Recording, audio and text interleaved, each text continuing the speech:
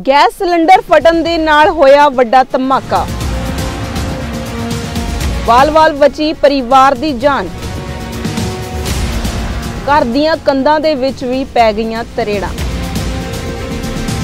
ਹੁਸ਼ਿਆਰਪੁਰ ਦੇ ਦਸਤੂਹਾ ਦੇ ਨੇੜਲੇ ਪਿੰਡ ਤੋਂ ਖਬਰ ਸਾਹਮਣੇ ਆਈ ਹੈ, ਜਿੱਥੇ ਕਿ ਰਾਤ ਵੇਲੇ ਜਦੋਂ ਸਿਲੰਡਰ ਹੈ, ਐਲਪੀਜੀ ਗੈਸ ਸਿਲੰਡਰ ਫਟ ਜਾਂਦਾ ਹੈ, ਤਾਂ ਕਿੱਡਾ ਧਮਾਕਾ ਹੋਇਆ ਤੇ ਪੂਰੇ ਪਰਿਵਾਰ ਦੇ ਨਾਲ ਨਾਲ ਪੂਰੇ ਪਿੰਡ ਦੇ ਵਿੱਚ ਇਸ ਦੌਰਾਨ ਦਹਿਸ਼ਤ ਦਾ ਮਾਹੌਲ ਪੈਦਾ ਹੋ ਜਾਂਦਾ ਹੈ। ਦੱਸ ਦਈਏ ਕਿ ਰਾਤ ਨੂੰ ਅਚਾਨਕ ਸਿਲੰਡਰ ਬਲਾਸਟ ਹੋਇਆ ਤੇ ਉਸ ਦੌਰਾਨ ਘਰ ਦੇ ਵਿੱਚ 10 ਮੈਂਬਰ ਮੌਜੂਦ ਸਨ ਤੇ ਇਸ ਦੌਰਾਨ ਗਣੀਮਤ ਇਹ ਰਹਿੰਦੀ ਹੈ ਕਿ ਉਹਨਾਂ ਨੂੰ ਕੁਝ ਨਹੀਂ ਹੋਇਆ। ਸਾਰਿਆਂ ਦਾ ਜਾਨੀ ਨੁਕਸਾਨ ਤੋਂ ਬਚਾ ਰਿਹਾ, ਪਰ ਉਹਨਾਂ ਦੇ ਘਰ ਦਾ ਬਹੁਤ ਹੀ ਜ਼ਿਆਦਾ ਨੁਕਸਾਨ ਹੋਇਆ ਹੈ ਤੇ ਦੇਖ ਸਕਦੇ ਹੋ ਕਿਸ ਤਰੀਕੇ ਦੇ ਨਾਲ ਕੰਧਾਂ ਦੇ ਵਿੱਚ ਵੀ ਤਰੇੜਾਂ ਪੈ ਗਈਆਂ ਨੇ, ਕਿਸੇ ਦੇ ਕਮਰੇ ਦੀ ਕੰਧ ਤੱਕ ਟੁੱਟ ਗਈ ਹੈ। ਤਾਂ ਇੰਨਾ ਸੰਘਣਾ ਧੂਆਂ ਹੋਇਆ ਤੇ ਕੁਝ ਦਿਖਾਈ ਨਹੀਂ ਸੀ ਦੇ ਰਿਹਾ, ਕਿਹਾ ਜਾ ਰਿਹਾ ਹੈ ਕਿ ਕਾਫੀ ਜ਼ਿਆਦਾ ਇਹਨਾਂ ਦਾ ਨੁਕਸਾਨ ਹੋਇਆ, ਪਰ ਇੱਥੇ ਗੱਲ ਇਹ ਹੈ ਕਿ ਗਣੀਮਤ ਰਹੀ ਕਿ ਕਿਸੇ ਦੇ ਤਰੀਕੇ ਦਾ ਕੋਈ ਜਾਨੀ ਨੁਕਸਾਨ ਹੋਣ ਤੋਂ ਬਚਾ ਰਹਿ ਗਿਆ। ਨਹੀਂ ਤਾਂ ਜਿੱਡਾ ਵੱਡਾ ਧਮਾਕਾ ਸੀ ਤੇ ਕੋਈ ਵੀ ਜਿਹੜਾ ਜਾਨੀ ਨੁਕਸਾਨ ਹੈ ਉਹ ਹੋ ਸਕਦਾ ਸੀ। ਤਾਂ ਇਸ ਮੌਕੇ ਪਰਿਵਾਰਕ ਮੈਂਬਰਾਂ ਨਾਲ ਜਦੋਂ ਗੱਲਬਾਤ ਕੀਤੀ ਤਾਂ ਉਹਨਾਂ ਨੇ ਕੀ ਦੱਸਿਆ? ਆਓ ਤੁਸੀਂ ਵੀ ਸੁਣੋ।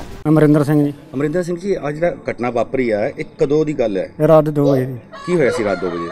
ਹਾਂਜੀ ਸਿਲੰਡਰ ਫਟਿਆ ਕੋਈ ਧਮਾਕੇ ਦੀ ਆਵਾਜ਼ ਆਈ ਜੀ। ਤੇ ਤੁਹਾਡੇ ਘਰ ਵਿੱਚ ਹੋਰ ਕੌਣ ਕੌਣ ਸੀ ਤੁਹਾਡੇ? 8 10 ਤੋਂ 10 ਜੀ ਹੈ ਜੀ। ਕੌਣ ਕੌਣ ਮੇਰੇ ਡੈਡੀ ਹੋਣੀ ਦਾ ਅਸੀਂ ਚਾਰੇ ਜੀ ਅਸੀਂ ਹੂੰ। ਤੇ ਮੇਰੇ ਛੋਟੇ ਭਰਾ ਦੇ ਚਾਰ ਜੀ। ਇਹ ਕਿੰਨੇ ਕੁ ਵਜੇ ਦੀ ਘਟਨਾ ਦੱਸੀ ਤੁਸੀਂ? 2 ਵਜੇ ਦੀ। ਤੇ ਤੁਸੀਂ ਨਾਲ ਦੇ ਕਮਰੇ ਸੁੱਤੇ ਹੋਏ ਹਾਂਜੀ ਹਾਂਜੀ ਨਾਲ ਦੇ ਤੇ ਬ੍ਰਦਰ ਵੀ ਨਾਲ ਹੀ ਸੁੱਤੇ ਜੀ ਹੂੰ ਤੇ ਕਿੰਨਾ ਕੁ ਨੁਕਸਾਨ ਹੋਇਆ ਲਗਭਗ ਤੁਹਾਡਾ ਇੱਥੇ? ਜਿਹੜਾ ਨੁਕਸਾਨ ਤਾਂ ਸਾਡਾ ਕਾਫੀ ਹੋਇਆ ਜੀ। ਹੂੰ। 10 ਤੋਂ 15 ਲੱਖ ਦਾ ਨੁਕਸਾਨ ਹੋ ਗਿਆ ਜੀ। ਤੇ ਕਮਰੇ ਦੀ ਦੀਵਾਰਾਂ ਵੀ ਕਹਿੰਦੇ ਪੂਰੀ ਡਿੱਗਣ ਵਾਲੀਆਂ ਹੋ ਗਈਆਂ। ਹਾਂਜੀ ਹਾਂਜੀ। ਕੀ ਮੰਗ ਕਰਦੇ ਹੋ ਪ੍ਰਸ਼ਾਸਨ ਤੋਂ? ਪ੍ਰਸ਼ਾਸਨ ਨੇ ਸਾਨੂੰ ਭਰਵਾਈ ਕਰੇ ਅਸੀਂ ਤਾਂ ਗਰੀਬ ਬੰਦੇ ਆ ਮਾਹ ਬਣਾਇਆ ਜੀ। ਚੜ੍ਹਦੀ ਕਲਾ ਟਾਈਮ ਟੀਵੀ ਲਈ ਦਸੂਹਾ ਤੋਂ ਰੋਹਿਤ ਕੁਮਾਰ ਹਨੀ ਦੀ ਰਿਪੋਰਟ।